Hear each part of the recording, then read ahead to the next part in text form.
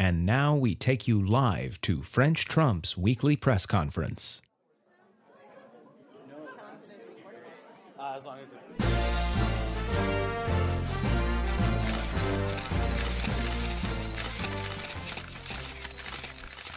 Hello, it is I, French President Trump, and I am here for the French President Trump weekly press conference. I shall now take questions from the press. Mr. President, Mr. President, Mr. President, Mr. President, Mr. President, Right there, you. It's you.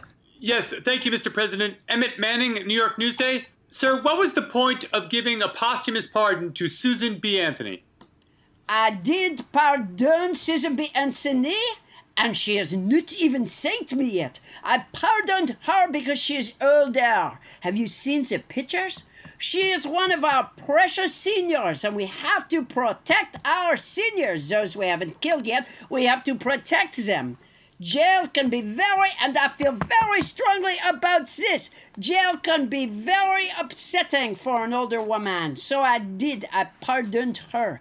She did commit a crime. She voted illegally. It may have been by mail, I'm not sure about that, although it probably was by mail. Dr. Birx, will you check on that? Because voting by mail has so much fraud.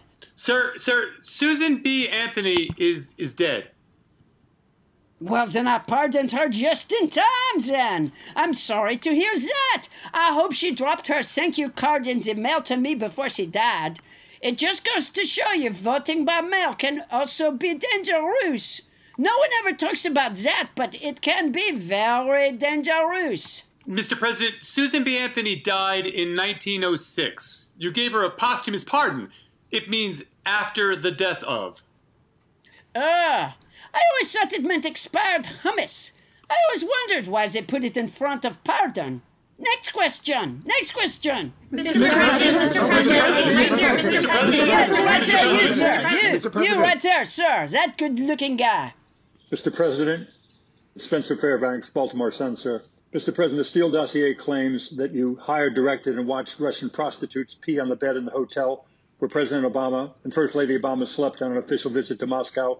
That made you vulnerable to Putin's blackmail. Those claims were discredited by you, sir. But now, however, Michael Cohen reveals in the pre-release of the foreword of his book that in the book to follow, he tells of everything of your exploits, sir, and among them is a golden shower in a sex club in Vegas. It would appear, sir, does it not, that you do enjoy viewing the flow of pee, and why is that?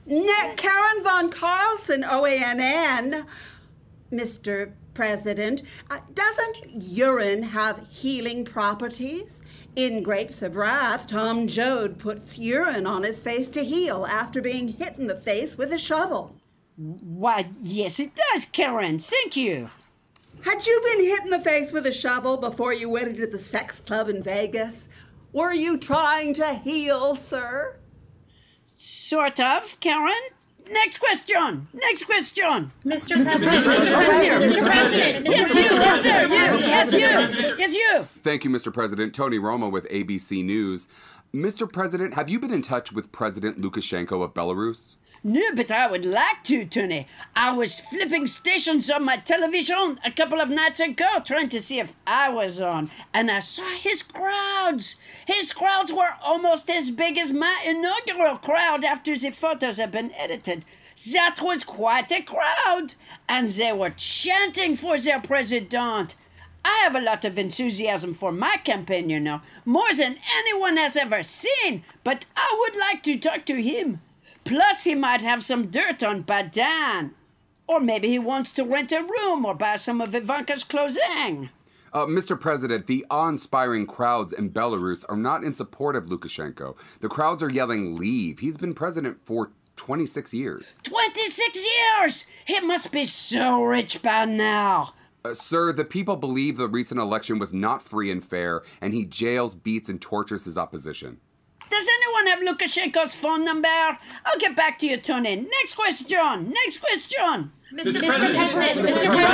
President, right here. Yes, you, right there, you. Mr. Yes, you. President, Mr. Yes, President. you.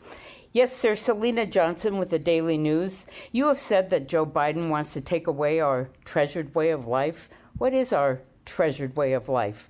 What specifically does Joe Biden want to take away? Joe Biden wants to take away oil and gasoline. Then we won't go to the gas station.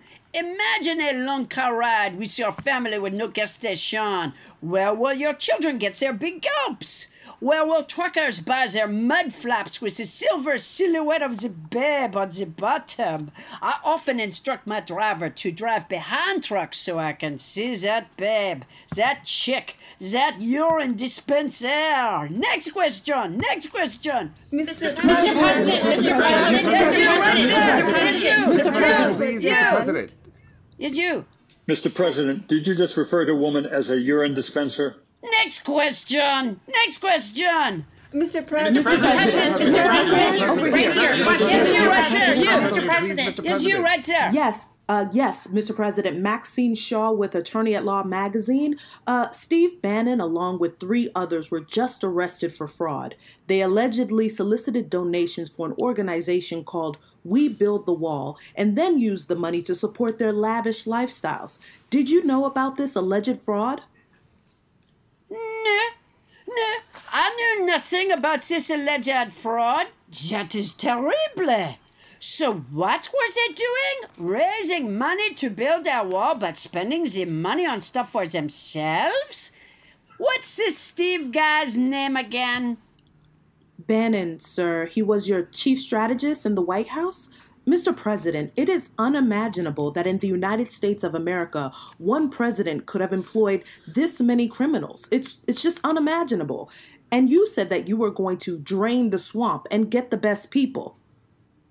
Well, no, but look what I inherited from Obama. The U.S. was so crime infested under Obama and the Democrats that I couldn't even find any decent people. You should have seen the other people who applied for the chief of staff job. Michael Corleone, El Chapo. He was on our short list, but he got caught again.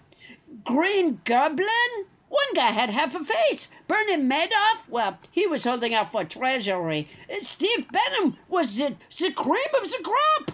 Next question. Next question. Mr. President, Mr. President, Mr. President, right here, Yes, you, right Mr. there, you. President. Yes, you. Mr. President, is there a P tape, sir? Who the fuck is this guy? Next question. Next question. Mr. President, Mr. President, right here, Mr. President, Yes, right there. You, Mr. you. Yes, you. Yes, Ka- Karen Von Carlson again, OANN. Mr. President, perhaps urine could be a successful therapeutic agent against the coronavirus, sir. Thank you, Karen. That might work. Maybe if injected just under the skin. Thank you, Karen. Dr. Birx, could you look into that? Next question. Next question. Mr. President, Mr. President, right here, Mr. Yes, you. Right there, you. Yes, you. Mr. President. Thank you, Peach Anderson from the Daily Beast. You've said that what you know about QAnon is that they like you very much.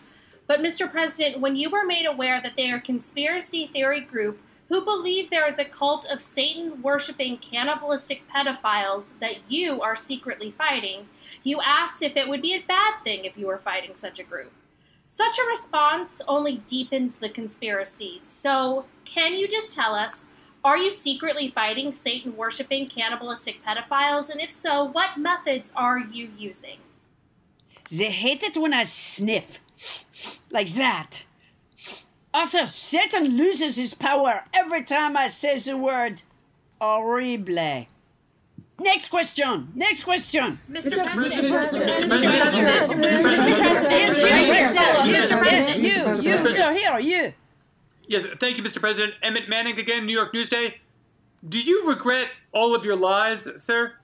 Next question. Just to follow up on what my colleague asked, sir, do you regret all your lies? Next question. I- I'd like to follow up with that last question. Do you regret all of your lies? Who said you could ask follow up questions? Next question. I think the last question was a good one. I'd like to follow up. Do you regret all of your lies? You people are horrible. Horrible, horrible. Next question. Karen Von Carlson, OANN. I have to use the restroom. This press conference is over.